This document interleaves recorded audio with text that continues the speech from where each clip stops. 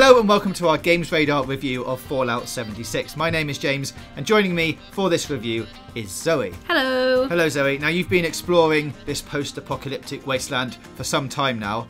Just before we get into the review, let's just explain why this review is a little bit later than when the game came out. So, obviously, there was the beta, and then it came out, and we thought, well, I thought that's not enough to review it on. You can't review a game on the beta.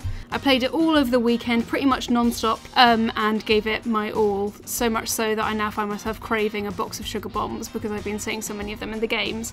But basically, just wanted to give it enough time to actually have a worthy verdict on it rather than trying to review it off the beta, which is not fair. Okay, so with all that said, and having read your review, this game has made you pretty sad, hasn't it? It's made me sad, yeah. It's one of the first things I put in the introduction to my written review because I, like many other people, had such high hopes of Fallout 76. I thought it was going to some break new some new ground by combining MMO with survival, but it didn't. It just disappointed me and made me sad because I love Bethesda games. Like they are one of the things that's got me through so much in my life, and I loved Fallout 4 and I adored Fallout New Vegas, but Fallout 76 just lacks that warmth and that vibrance that you're familiar with from previous games in the series.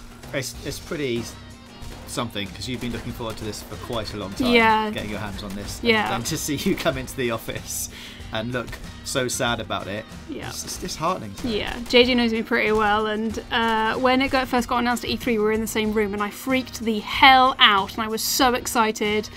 Played the beta, and it has this weird bell curve where you start off and you're like, yeah, okay, you know, this is good, I like this. Play another four hours, you're like, oh my god, this is great. There's so much new things to discover. There are weird creatures, there's new regions. And then when it gets into the like 18 hour plus mark, you begin to come down the other end of it and be like, okay, no, this is cool. I don't mind being one faction's last hope, but to be the last hope of three other factions and to know that every single outcome of most of the quests is surprise, they're dead. Now you have to continue their legacy is really oddly emotionally exhausting. Like one of the things that really pushed through obviously New Vegas and Fallout 4 and Fallout 3 before that was that you're surviving for people, you're helping people and you feel like you're genuinely trying to build a new future for the wasteland.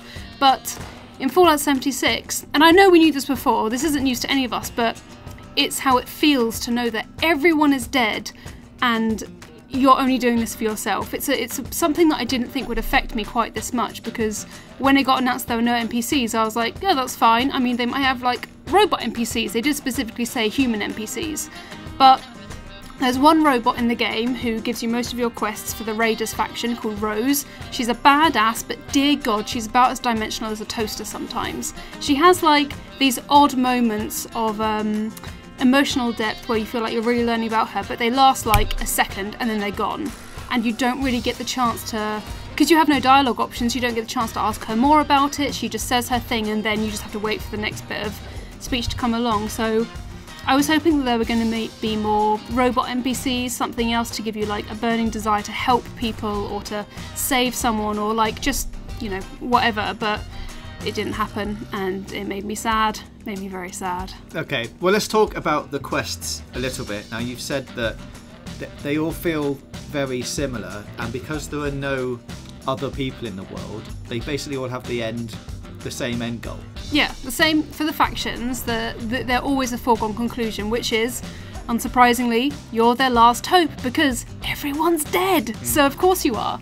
But yeah, the fact that there are no NPCs is a bit of an issue when it comes to quests because what NPCs do in most games is that they kind of dress up fetch quests to be about much more than just getting to, from point A to B or getting, you know, um, item Z. You're doing it to help someone, you're doing it to reunite someone with someone. Like, there's always an emotional kind of core to the quest and why you're doing it. But with all the NPCs dead, you're left to rely on audio tapes or um, holotapes or pre- just pre recorded stuff that just plays out when you trigger a quest. And at first that's fine, and you're like, no, it makes sense because everyone's dead. But the acting is great. But then once you get into it, it becomes this pattern, and you just feel so alone. You're like, I have no one to talk to unless you're playing with friends, which is another side to the story. You just feel like there's no real not emotion, but you don't have that real drive to help people because you don't have an NPC standing there looking at you asking for help. You just log into a terminal, find you've got to do X, Y, and Z, go do X, Y, and Z, pre recorded message plays when you've done it. It just feels really soulless. So that's, I guess, the single player side of things. You mentioned a little bit of multiplayer. Yeah. So playing it with friends does improve the experience. Yeah, but I mean, obviously, play with people you actually like, which is important. But playing with friends is great. Like, there's still that um, novelty of playing a Fallout game with people that hasn't quite worn off for me. But playing with friends really does make a difference, if only because you have some other people to talk to and you don't feel quite as alone. Um, and the public events are really fun to do, even by yourself, because you can meet some really great people doing them. I've already made two actual friends in the wasteland, which is warms my cold dead heart just saying that. Um, and because of the PvP actively disincentivizes people to engage with you if you don't want to fight back, there's this. Well, I personally have encountered the cycle of like people actually helping each other out. I've had a level 60 player give me some free fusion cores. I, in turn, have kind of like kept it going, paid it back, and helped out some baby level ones with giving them some stim packs. There's this whole idea of, well, not idea, but there's this feeling that you're all in this together. So you can like wave to people nearby with emotes or heart them or whatever. And the community side of it really does redeem Fallout 76. Like it is really fascinating and heartwarming and makes me feel like, like a happy person to see people working together and something slowly being built on it. Like I can't wait to see Fallout 76 in a year and see what the community is then because with the whole trading system there's so much potential for where that can go. Okay, well, we've talked about some of the redeeming features there.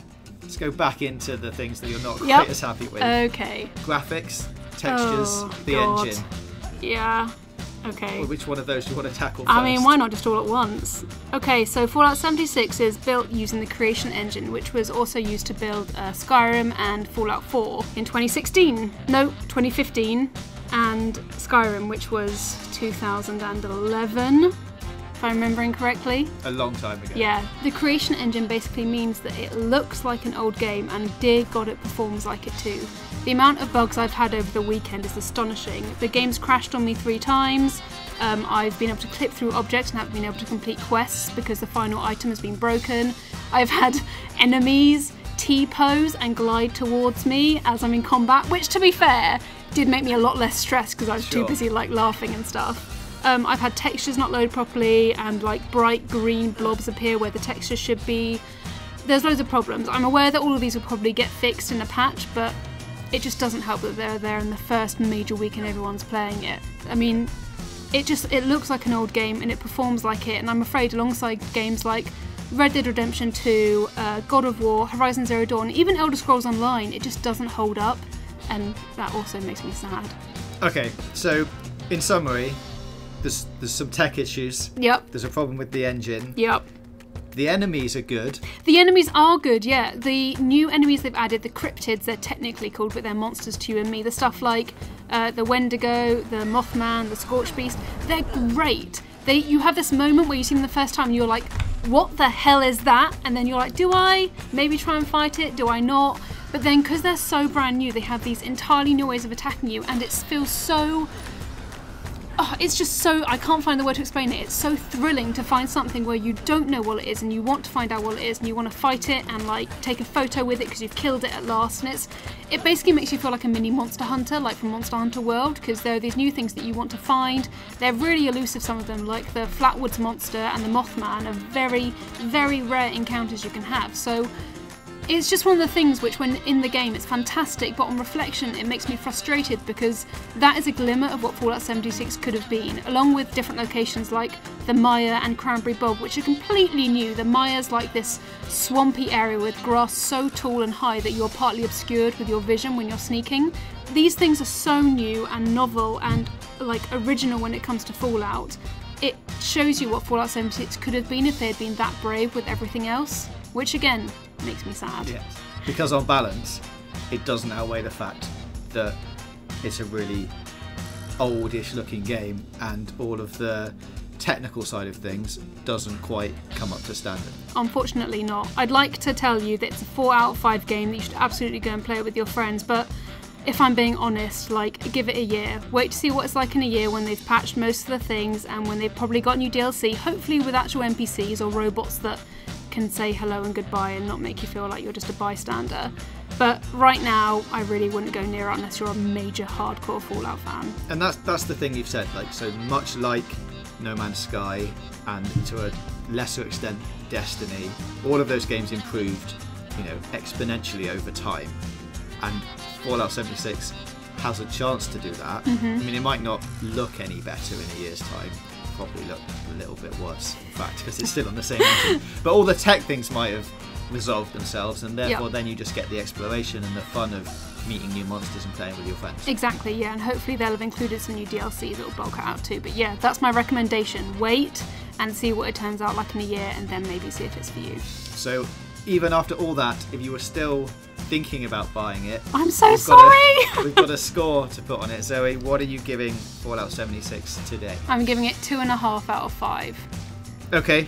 Thank you very much, Zoe. Let us know what you think about Fallout 76 in the comments below. Click the boxes on the left for more content from us, and don't forget to hit that big button in the middle to subscribe for more gaming news, reviews, previews, and features right here on Games Radar Plus.